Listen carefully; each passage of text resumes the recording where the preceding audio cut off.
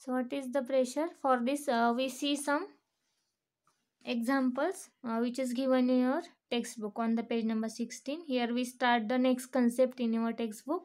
That is the pressure. So for this we see these examples. Uh, see you must observe the tires of two wheelers and four wheelers getting a pressurized. If we see uh, these uh, two wheelers tires okay?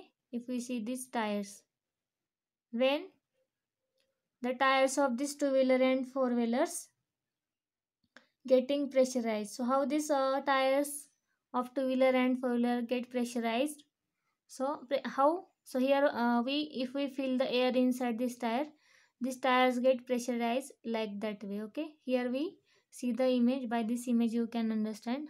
Pressurized means we apply the pressure on that tire by applying force.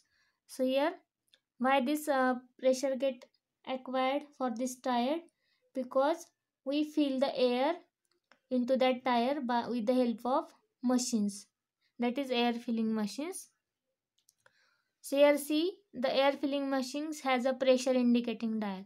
So how we uh, pressurize this tire? By using the this air filling machine okay? This is the air filling machine.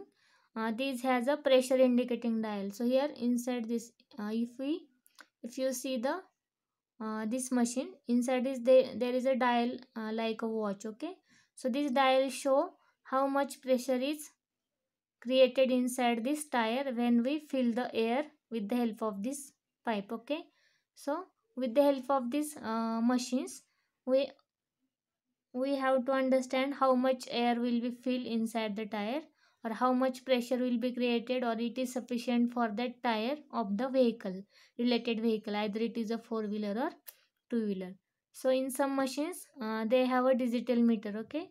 There is another machines also present like a digital means here they gives a number on this machine that is in the form of digit. So there are two types of machines may be used that is uh, the machines having dial and also uh, some machines have a digital meter okay? These machines shows the digital reading of pressure means how much pressure is uh, acquired in that inside that tire. So with the help of these machines we can understand uh, what is the need of the pressure or how much air will be filled inside the tire okay? By seeing this pressure. So here the machines fill the pressure to certain value. So here by using this machine we feel the pressure uh, that is limited value for each of uh, tire for the vehicle is a uh, fixed. So here eh, according to this digits we feel the pressure to a certain values in the tires of the vehicle. So here also we see the another example that is uh, you are aware that a force has to be applied for filling air in the bicycle tire with the hand pump so uh, another example that is for the two wheeler and four wheeler we use the air filling machines. That is we shows the uh, digital value for the pressure.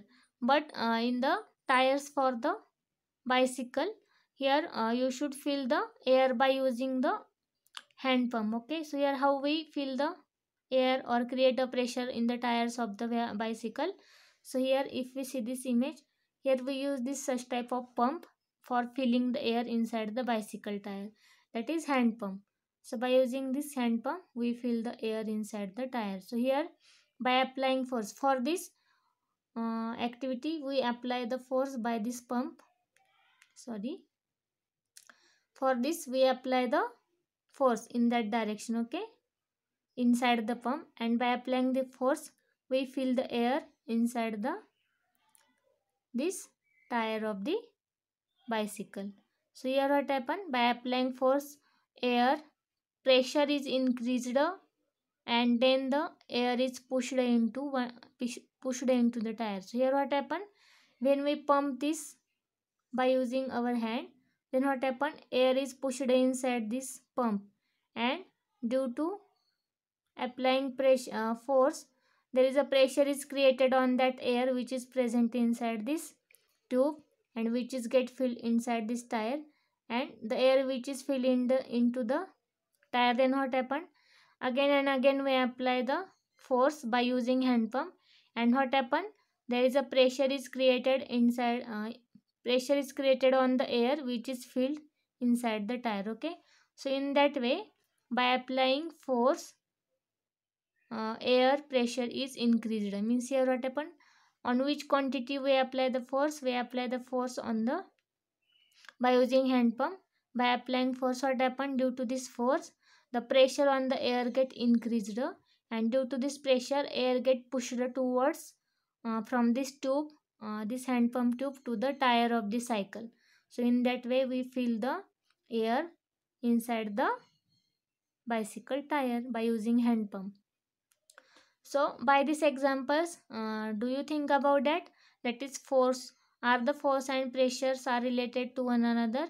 So here if we see the two examples uh, how, when the pressure is created when we apply the force on the air then due to this force what happened air get pressurized and it get forward towards the direction and the air get passed towards the tire and in the tire also when we fill again and again the air by using applying force then what happened? The pressure on the air get increased and these tires get pressurized. So here we see the two concept that is the force and pressure.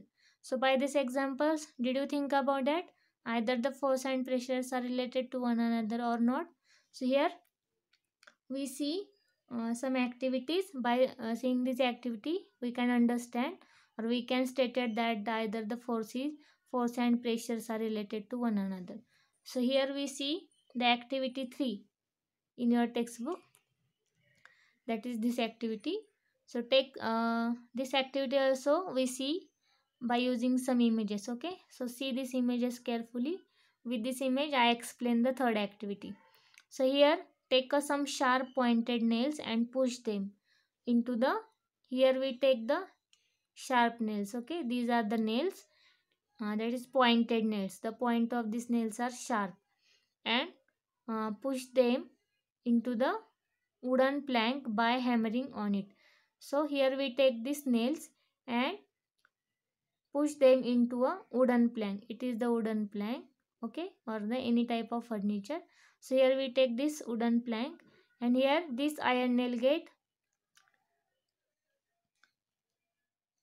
push them into a wooden plank here by hammering this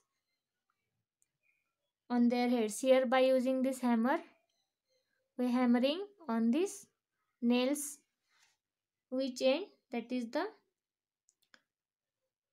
head of this nail. Here if we see this exam uh, nails it is the head of that nail okay? It is the head of that nail and it is the pointed end okay so in that way here we take some sharp pointed nails and push them into a wooden plank okay? Here we push this nail into the wooden plank by using this hammer.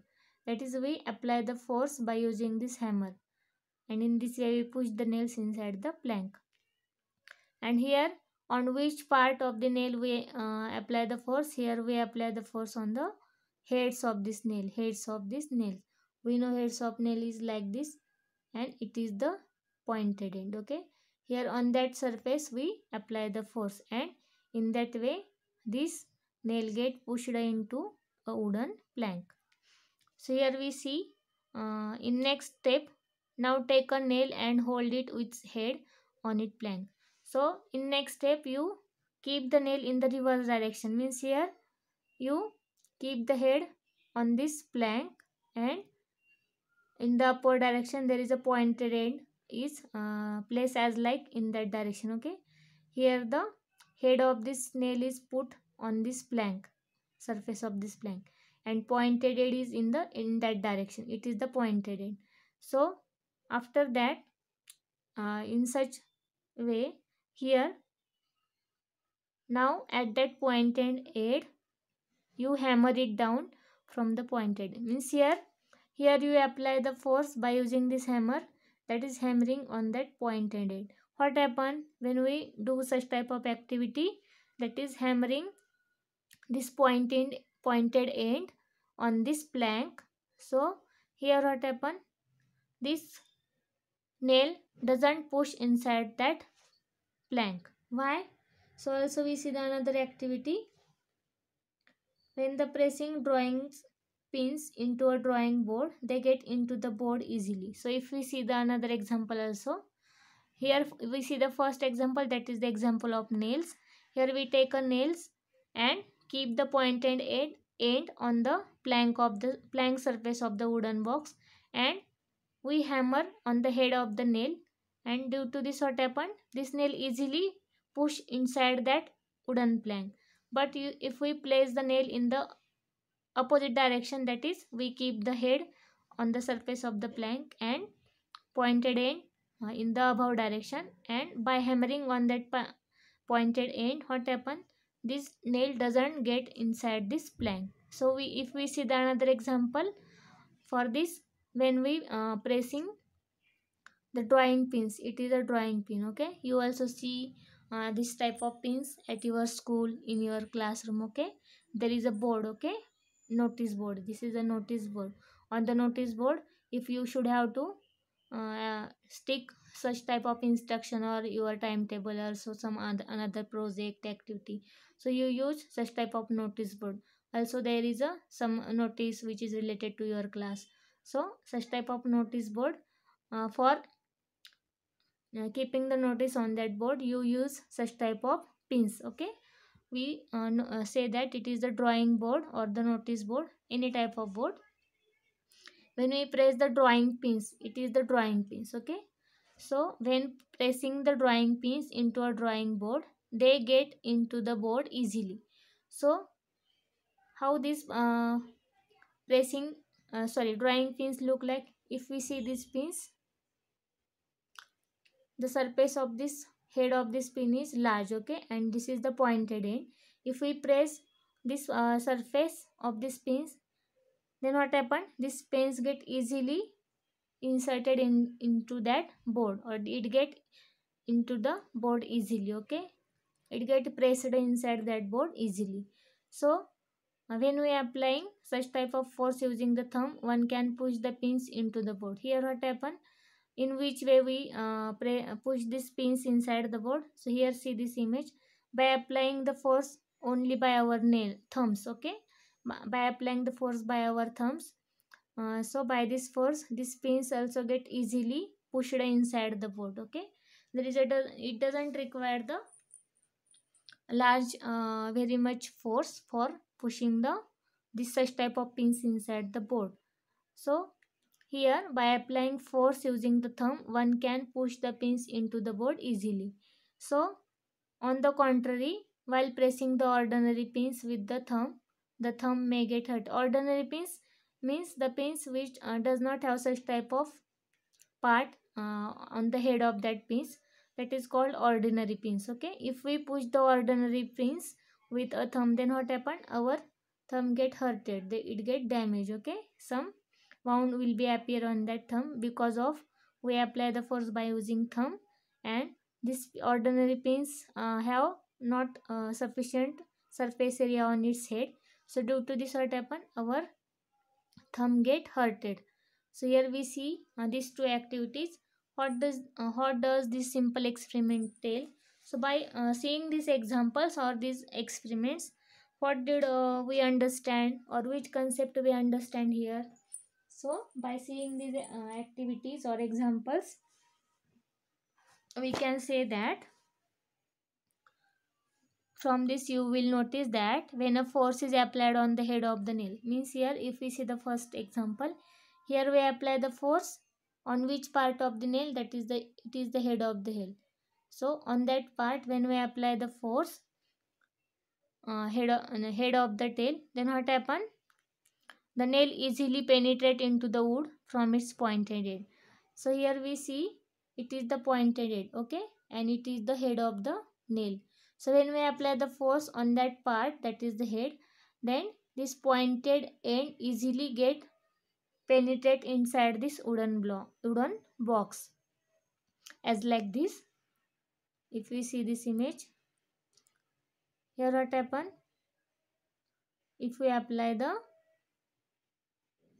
force on this head of the nail. Then the pointed end get easily penetrate inside the wooden box.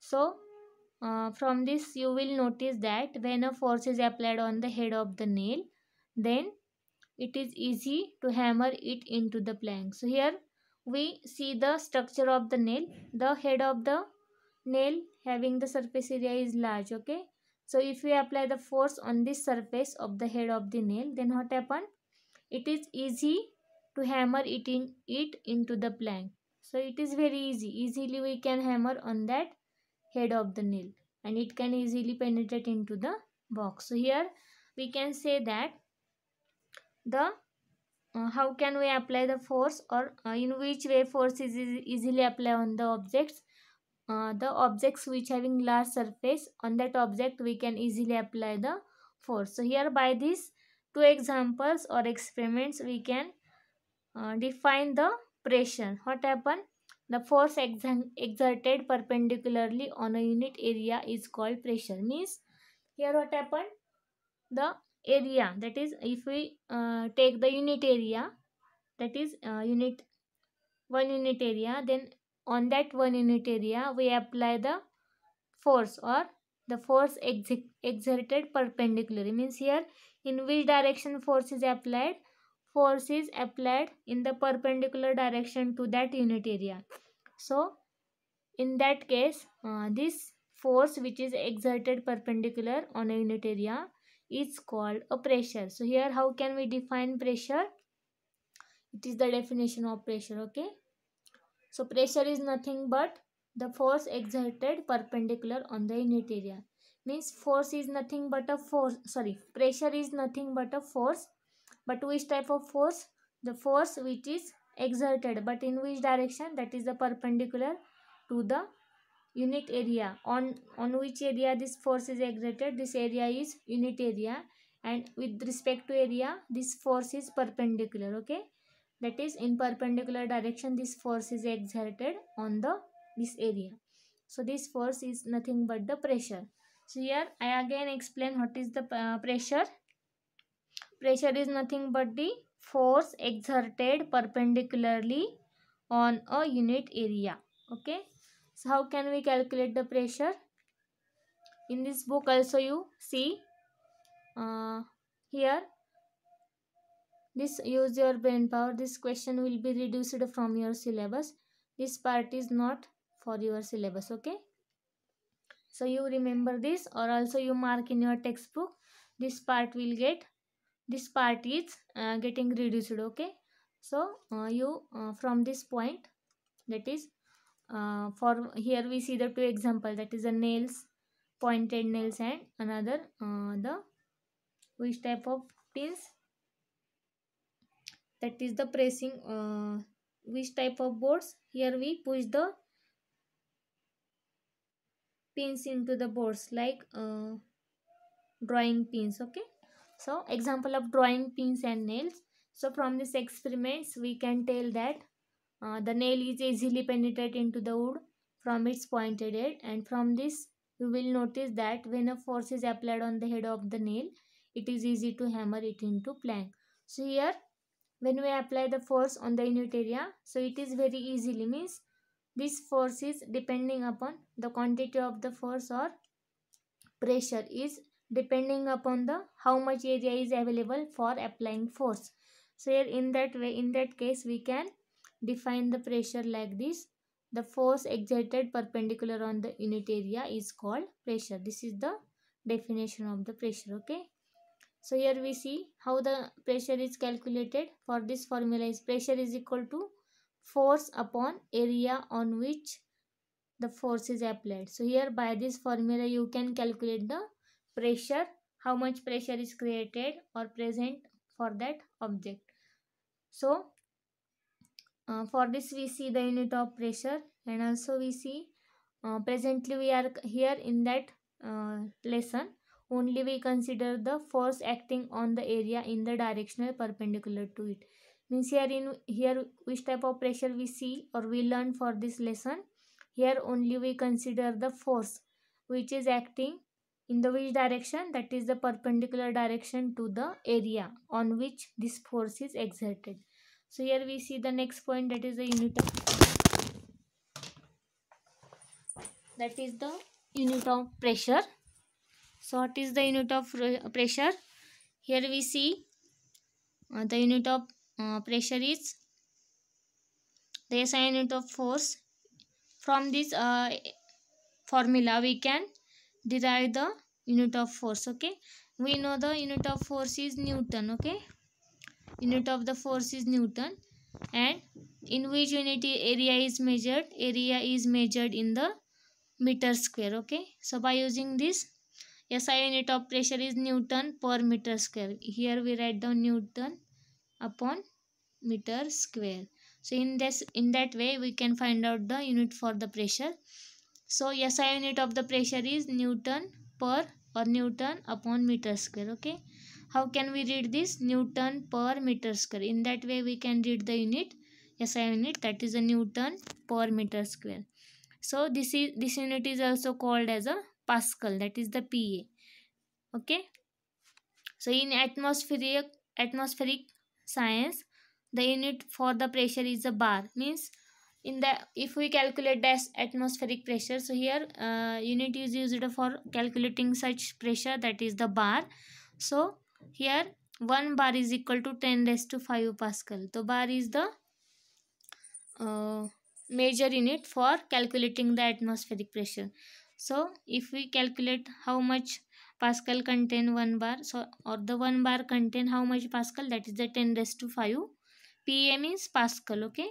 For the pascal you should write the uh, letter that is the pa so pressure is a scalar quantity. Pressure is the scalar quantity. For calculating pressure there is a no need of or for calculating the magnitude of pressure there is a no need of direction.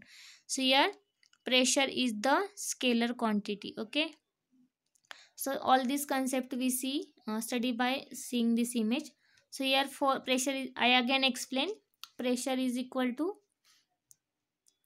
uh, force upon area on which the force is applied okay?